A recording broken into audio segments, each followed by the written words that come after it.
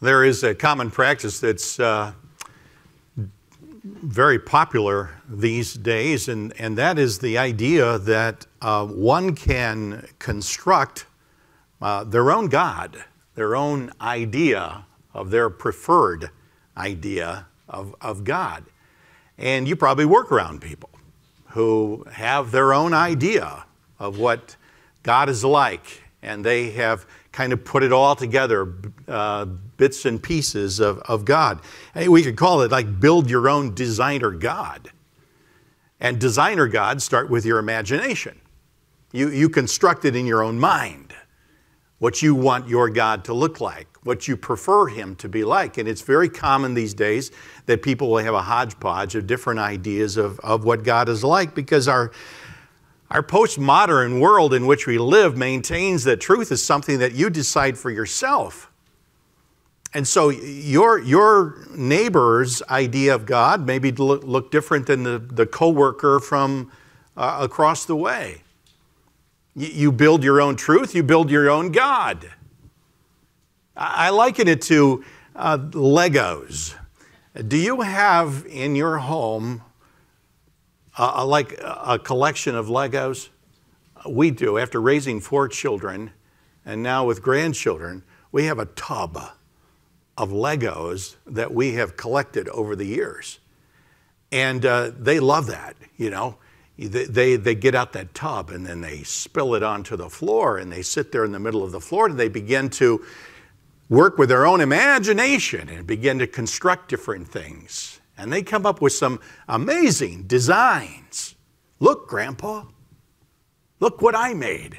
Oh, yeah, that's pretty cool. What, you know, look what it can do. And say, yeah, that's a keeper.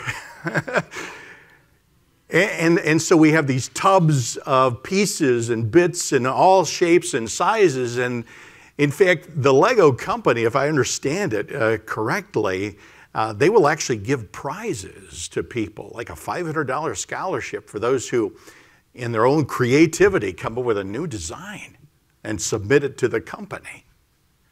Well, that's sort of like what happens when people construct their own, their own God. But there is no prize for those who design their own God.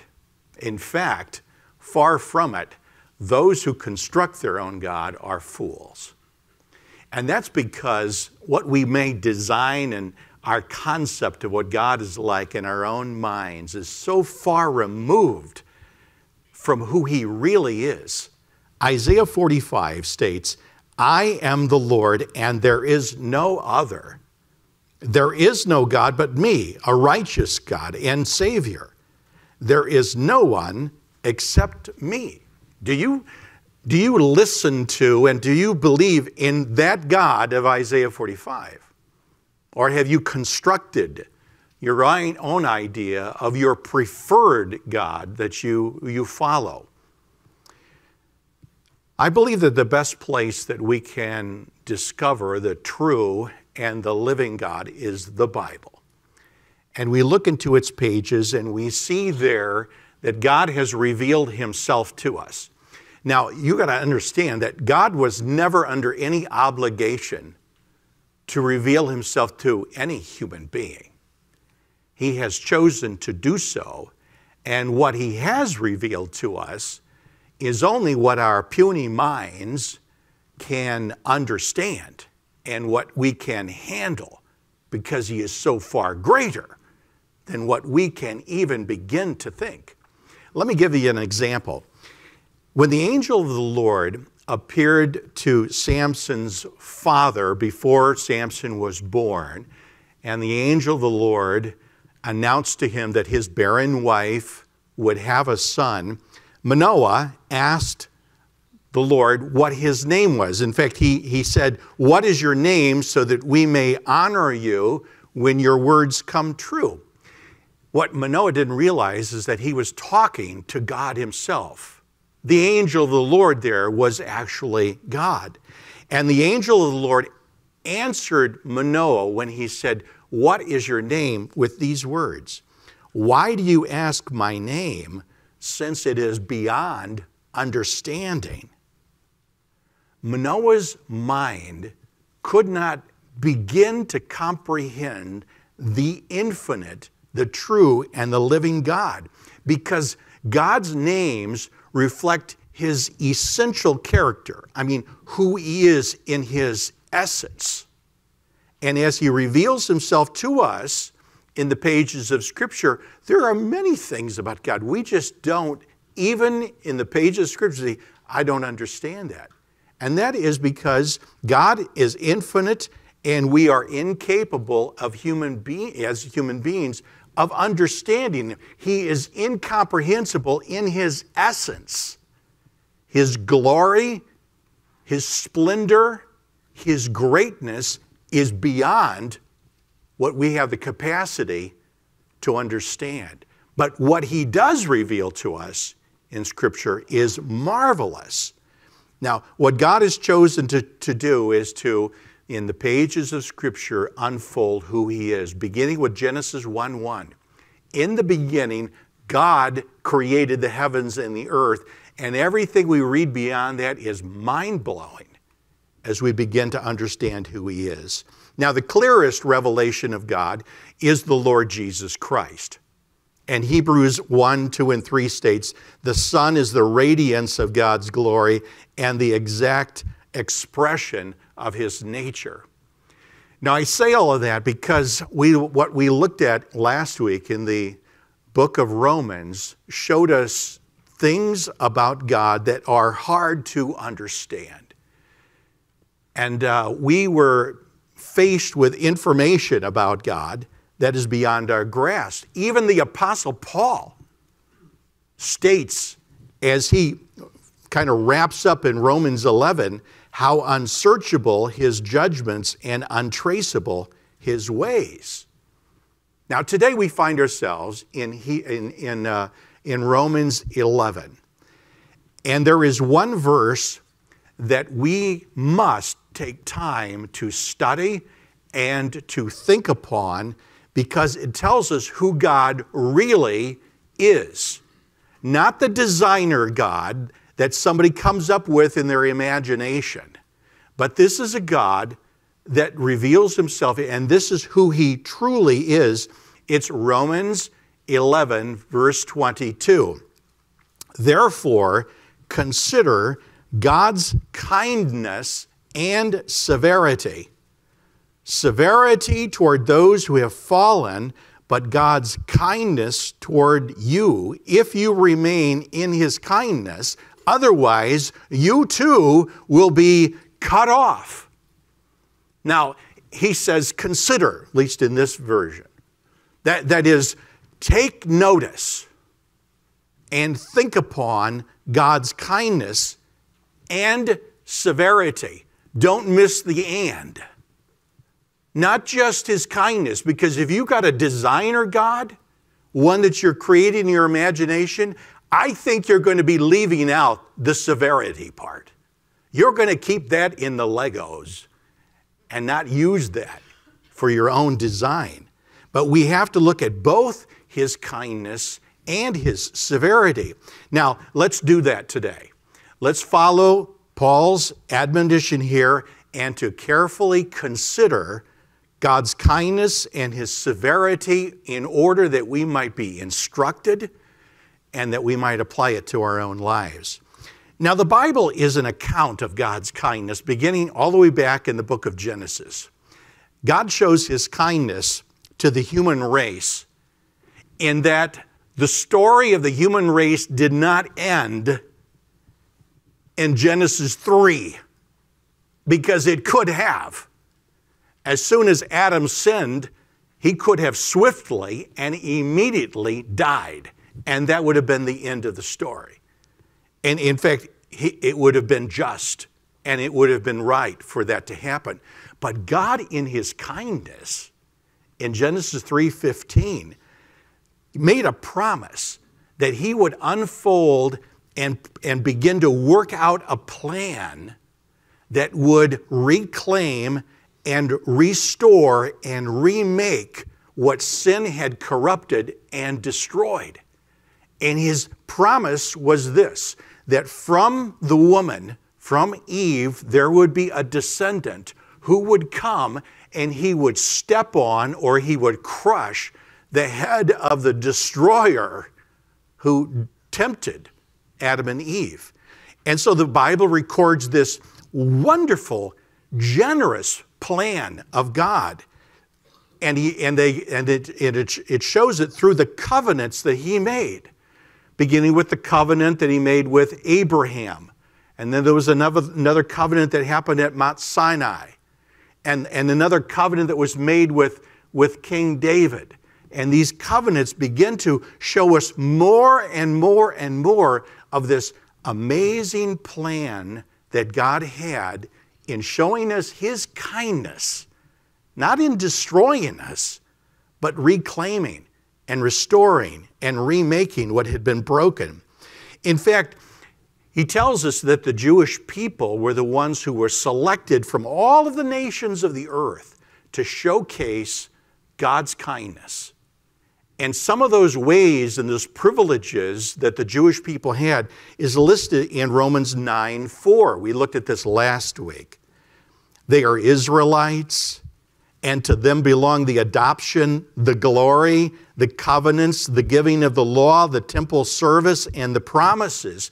In other words, what Paul is saying here is my people, the Jewish people, have a special status separate from all of the nations of the earth beginning with the fact that they are adopted, meaning that God has brought them into His personal family, as it were, a relationship with them. This is language of intimacy and of, um, uh, of fellowship. He said, You're with me, you're in my family. But more than that, he showed the Jewish people how they could worship him Unlike all the other nations who are bowing down to sticks and stones and, and idols made of, of metal, or, or maybe worshiping a mountain or worshiping the sun as the Egyptians were doing. And he said, I want to show you who I am. And they were privileged in that. In addition to that, they had the temple where God met with them, and where in the Holy of Holies was the Ark of the Covenant and the mercy seat.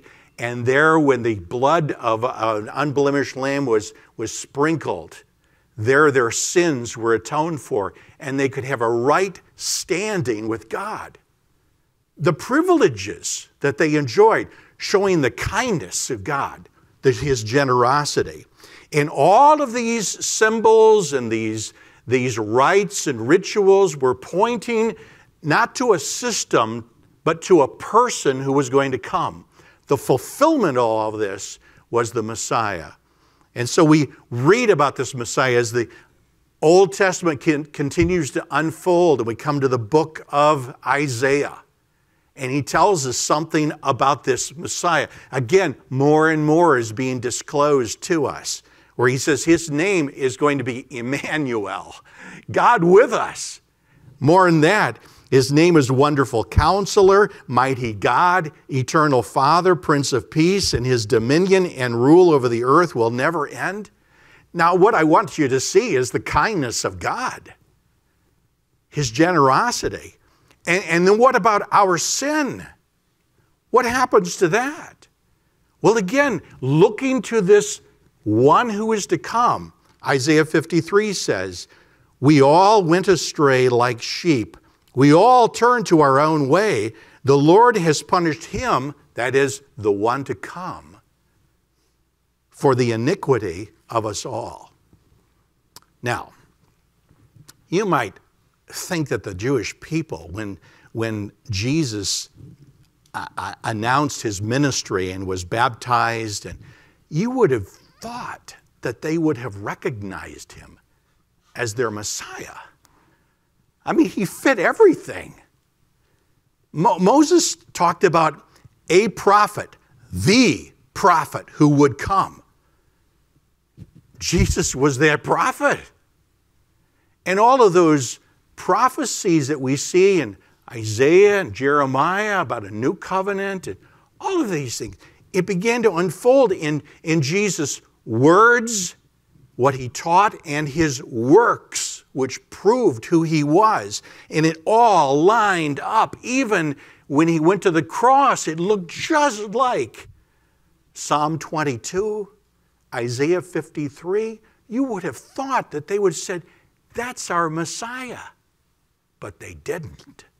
They didn't. Instead, Paul laments in chapter 9 of Romans as he says, This kindness of God, which was intended to bring them to repentance, has been snubbed.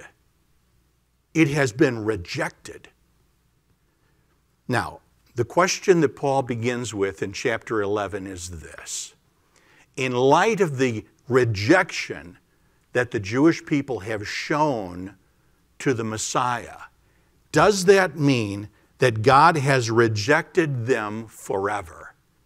And he says, No, that's not true. He says, I'm proof of that.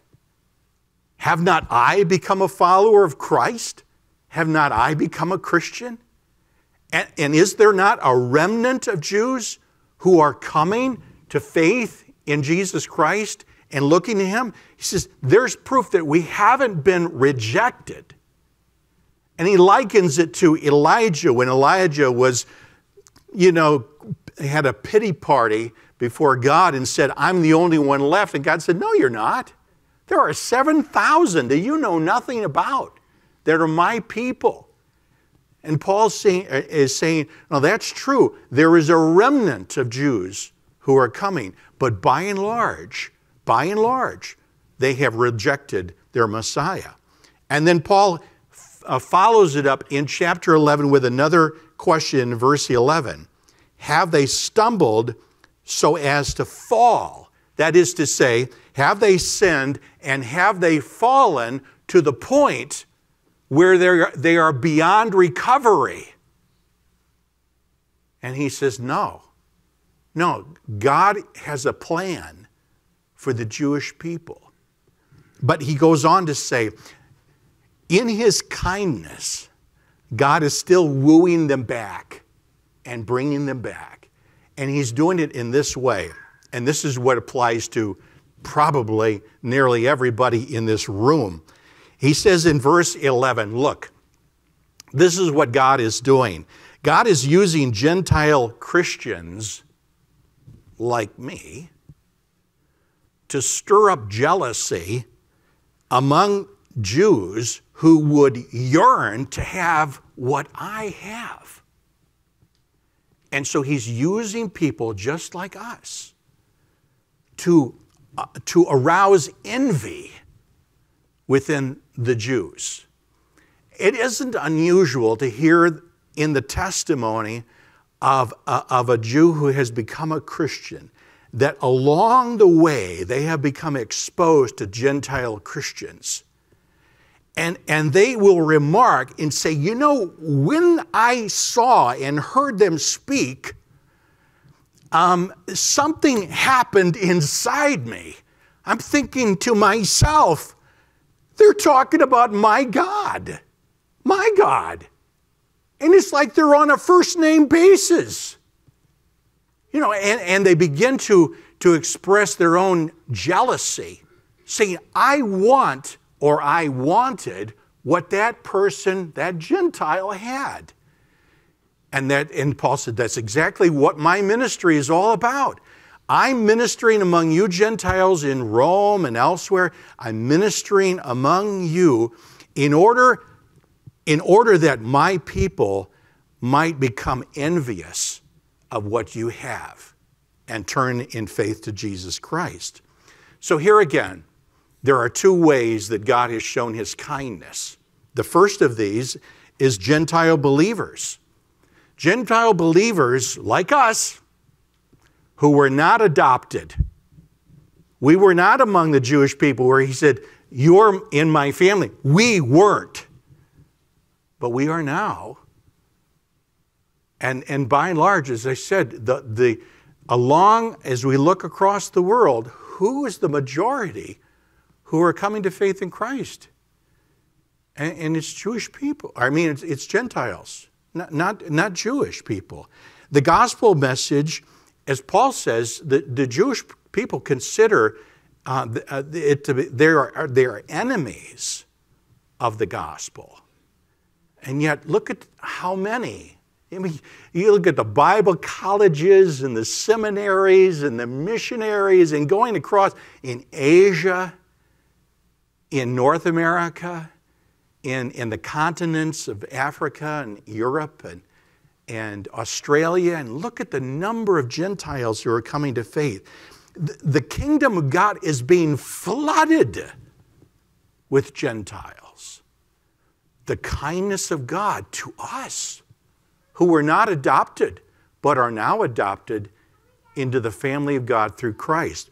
But secondly, the kindness of God shown to the, to the Jewish people in making them thirsty to want what Gentiles have so that they might cry out to the Lord. You know, jealousy is a very powerful motivator. When you're envious of what somebody else has and you want it. And that's exactly what God is intending to take place. Now, what about the future? What is God's plan for the future with regard to the Jews? In Romans 11 25, look in your Bible. It says, I don't want you to be ignorant of this mystery, brothers and sisters, so that you will not become or will not be conceited. A partial hardening has come upon Israel until the fullness of the Gentiles has come in. And in this way, all Israel will be saved. Again, the demonstration of the kindness of God as his plan for the future for the Jewish people. John Stott, in, in uh, his remarks about this, likens it to like a boomerang. And, and he said uh, that God had blessed originally the Jewish people with um, the temple and with the scriptures and, and, and, and a relationship with Him.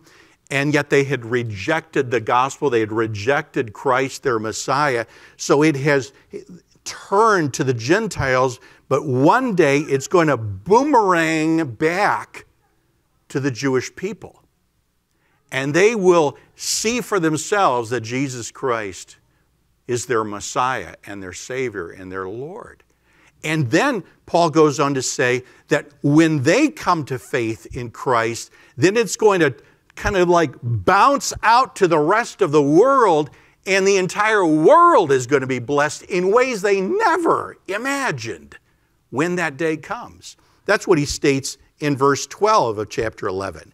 Now, if they, their transgression, that is, if the Jewish transgression brings riches for the world, and their failure riches for the Gentiles, how much more will their fullness bring? This is his point, is that one day there will be a large majority of Jewish people who will turn in faith to Christ, and the blessings of that day will spill over into the rest of the whole earth. And there will be wonderful things that will take place. There is coming a day when Jesus Christ returns and the Jews mourn as they see him, the one that they had nailed to the cross, and recognize him as their Messiah. And they come to faith in, in, in a personal relationship with Jesus. In that day, there is going to be a bumper crop of blessings that will spill out and will be enjoyed by the whole earth. Now, this is, this is the generosity of God. Let me just summarize once again what we see here of the, of the, the kindness of the Lord.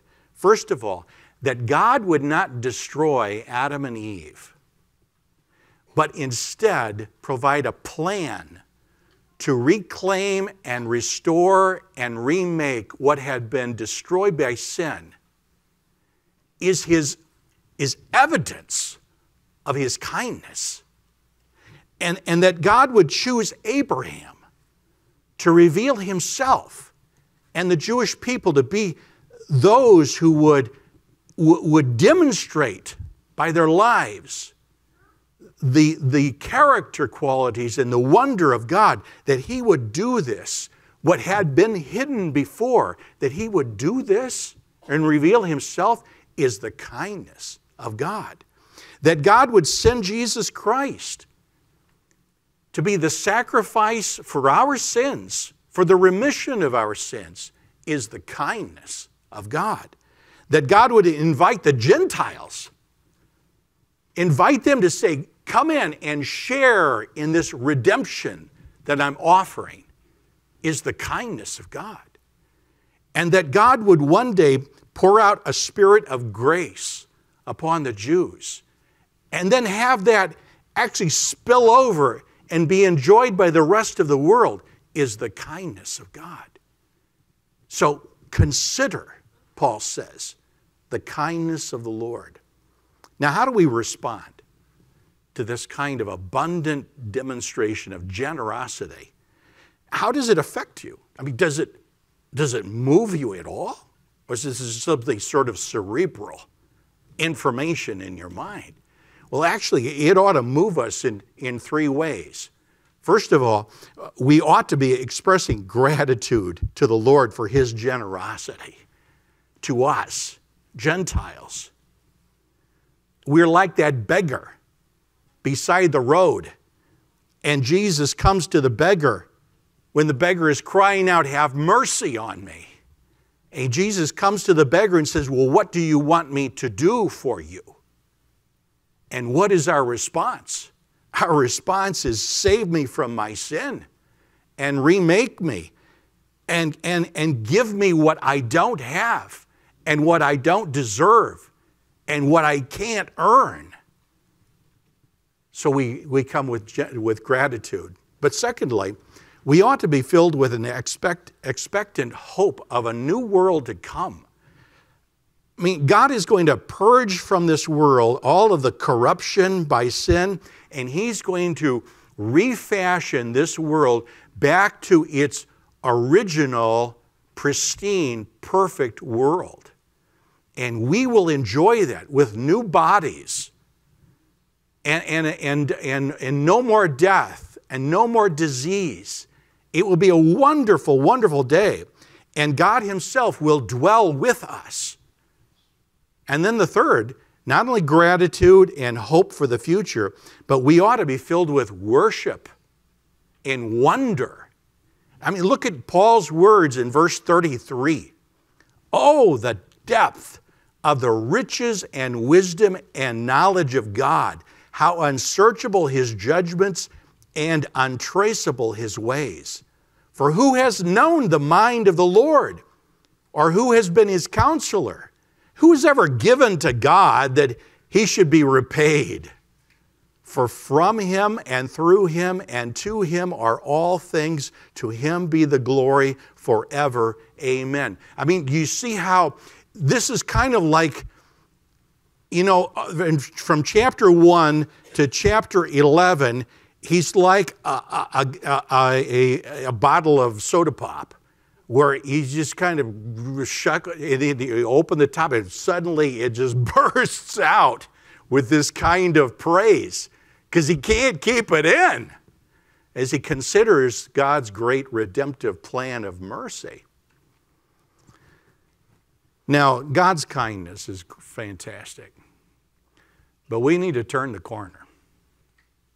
And we need to talk about something that's very sobering, and that is his severity. Paul's writing to Jew, to Gentiles, predominantly in, in the Roman church. There were Jewish people there, but predominantly they were Gentiles. And he was saying, look, some of you are kind of smug, thinking that you're a little bit better than the Jews because God has turned his attention to you. And you're acting a little bit presumptuous in, in your whole attitude. And you're tempted because of this to become lazy in your walk with Christ and to take your salvation for granted. And if you go there, you are going to be tempted to fall back into a, a life of sin and a pattern that is exceedingly dangerous, and you're going to drift from the Lord. And some of you are going to say in that day, well, it's okay. It's okay because I'm saved. And, and it doesn't really matter because I'm a child of God and I'm saved. I'm one of the elect, I'm one of the chosen. And Paul's saying to those smug and complacent and lazy Christian, he says, hey, hold on there. Because consider the severity of the Lord. He has been very generous with you. He's been exceedingly kind. But if you spurn his kindness and you act presumptuous toward what he has done for you, he will cut you off. Now, you know, to be cut off from the Lord is a frightening thought. Now, I, I, have to admit that this is one of those loose ends that I talked about last week that is hard for me to understand. And, um, and it's just all not some, it's not all neatly packaged where I got them all tied up and saying, yeah, I got it all figured out. Because I don't have it all figured out. I don't think anybody does. And this is one of those that leaves me in a tension. I believe with all my heart what I see in Romans 8 that there is therefore now no condemnation for those who are in Christ Jesus. And I see there that to those who are savingly loved by the Lord, that there is no separation, that that believer will experience from the love of God. But then I read these words, otherwise, he will be cut off. And that bothers me. And I confess it, it's a frightening thought. So, what do I do with this? Well, I'll tell you what I do with this. I treat this as a very serious warning. And we had best not treat with contempt and better not squander the kindness that God has shown to us. And all of us, personally and corporately. Uh, here's my exhortation to every Christian here today never presume upon the Lord, but, but rather make yourself more determined than ever to run the race faithfully to the very end and to keep your eye on the champion of our faith, the Lord Jesus Christ, and put your face to the wind and endure through trials and through doubts and hardships and vow to faithfully live for Him. I mean, you already made a vow. You already acknowledged that you are trusting in Christ as your Savior. And when you were publicly baptized, that's a vow. You made a vow to God that you would follow Him and you would be faithful to Him. God takes that very, very seriously. How dare we presume upon the Lord? Behold the severity of God and think it through carefully. To become smug about God's kindness is to endanger ourselves because He may cut us off if we mistreat and we go back into a life pattern of disobedience. Romans 2 4 says, God's kindness, restraint, and patience is intended to lead you to repentance. How do we respond to this? We humble ourselves before God this week. We resist being proud and complacent and, and, and smug. We mourn and we repent. Behold the severity of the Lord. It's time for recommitment. There may be some within this room today where you have treated God's kindness to you with contempt by the way that you have been living and what you have been engaged in. And you have reasoned in your own mind, well, I'm a born again Christian. Listen, be very careful. Look what it says in verse 22. Otherwise, you too will be cut off. I mean, these are frightening words. I mean, if there is anything or anybody who is luring you away from a determined walk with the Lord, then cut that off. If your right eye causes you to sin, pluck it out. If your right hand causes you to sin, cut it off. It's better for us to take decisive action and, and, and to take those areas where we have been friendly with sin and to cut it off. Otherwise, God might cut us off. Now, this is a true glimpse of God.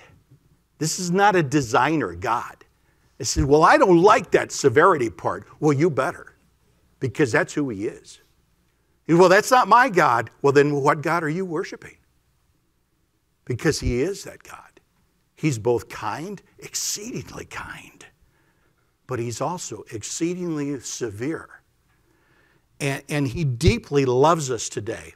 And hasn't He proven that?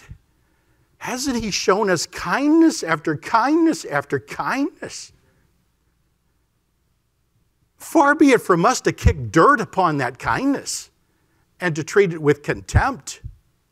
And He said, otherwise, you will be cut off. Now, today, I, I would call you to learn from this passage, not only to rejoice and to celebrate the kindness of the Lord in saving you and bringing you into the family of God and adopting you and say, Praise God. But I also would recommend that you put up guardrails around your life so that you don't fear, veer off into some weeds somewhere and find yourself in a, in a very dangerous place. And so today, behold the kindness and the severity of the Lord. Let's pray. Our God and our Father in heaven, we're thankful today for how you have reclaimed us, undeserving sinners, and you have redeemed us through the blood of Jesus Christ.